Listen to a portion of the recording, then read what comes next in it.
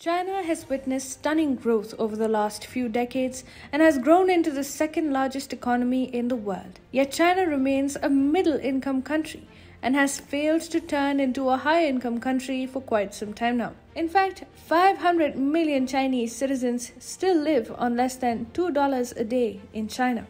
And it seems that China is going to stay stuck in the middle income trap. Chinese laborers are often made to work overtime without being paid for it Unhealthy working conditions in Chinese factories are leading to widespread dissatisfaction. Now, the Chinese people are defiantly adopting minimalism because they simply don't want to work themselves to the bone. They are also spending less because there's no guarantee what could hit the Chinese economy under Xi Jinping, and this has left the CCP in a really big mess. Hi, and welcome to TFI Global, the foreign affairs and geopolitical analysis arm of the TFI Media Group. I'm your host Shubhangi and in this video I will tell you how China is racing towards the middle income trap due to the lying flat campaign. Let's begin. Chinese President Xi Jinping articulated an alert on October 15. As per the Chinese Communist Party's flagship journal on political theory, Qiushi, Xi said, it is necessary to prevent the stagnation of the social class, unblock the channels of upward social mobility, create opportunities for more people to become rich, and form an environment for improvement in which everyone participates, avoiding involution and lying flat. This was probably the first time that Xi talked about lying flat, or what is called Tangping in China, a movement that involves lying down and doing absolutely nothing. Lying flat has gained traction amongst Chinese youth as a symbol of protest against the brutal 996 work culture in China that involves working from 9 a.m. to 9 p.m. six days a week. However, the lying flat campaign is now pushing China deeper into a middle income trap.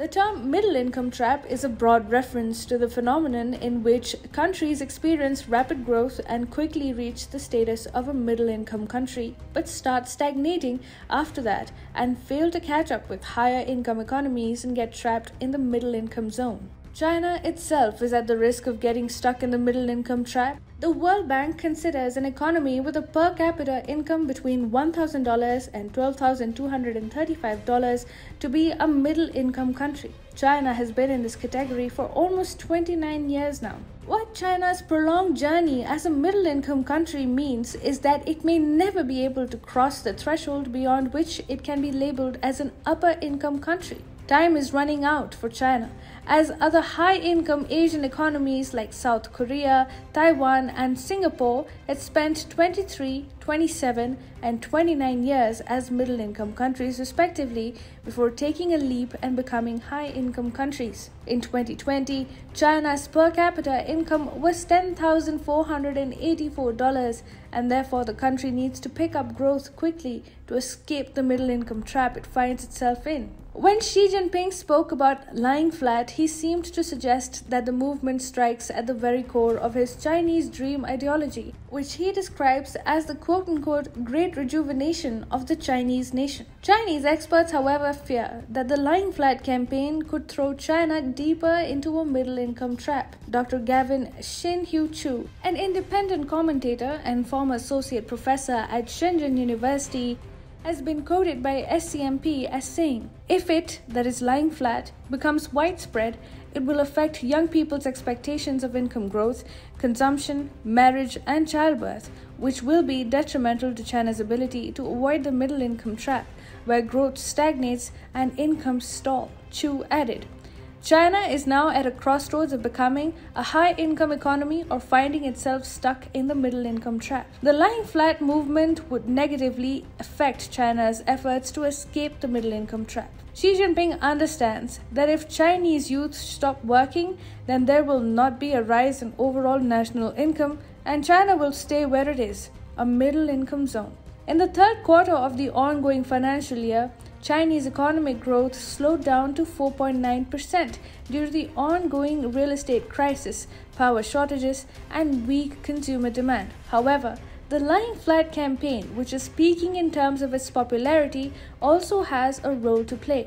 So, the Lying Flat campaign is already holding back Chinese growth. The Qiushi article quoted Xi Jinping as saying, only by promoting common prosperity, increasing the income of urban and rural residents, and improving human capital can we increase overall productivity and consolidate the foundations for high quality development. Xi Jinping is rebuking Chinese youngsters for adopting a minimalist lifestyle. The campaign had originated after a young Chinese man, Luo Huazhong, wrote a post on Baidu Tieba's social media platform titled Lying Flat is justice. It explained how he embraced minimalism for the past two years. Luo said, Life is just lying down, lying down, and lying down. In media interviews, Luo said, When I say lying flat, I don't mean that I just lie down every day and don't do anything. Lying flat is a state of mind. That is, I feel that many things are not worthy of my attention and energy. Soon, the Lying Flat campaign spread like wildfire in China, with youth embracing the individualist campaign. It allowed them to think of their own needs instead of working in animalistic conditions to raise national income just to meet the Chinese Communist Party's ambitious goals. China is using its Great Firewall and heavy censorship to curb the Lying Flat campaign. Luo's original post itself was targeted, but its copies quickly spread on the internet, and the Chinese youth seems to pick up the idea well. Chinese communist hardliners are slamming the movement. Hu Xijin, editor in chief of the CCP mouthpiece Global Times, said Young people are the hope of this country. Neither they themselves nor the country will allow them to collectively lie flat. State backed media outlet Nanfang Daily too called the movement shameful. But here is the real thing if average Chinese youngsters don't want to waste their youth working 12 hours every day for six days a week only to earn higher incomes, the CCP can't force them to aim to earn more. Lying Flat is a campaign that can't be cracked down upon, and much to the chagrin of the CCP, it is throwing China into the middle income trap for eternity.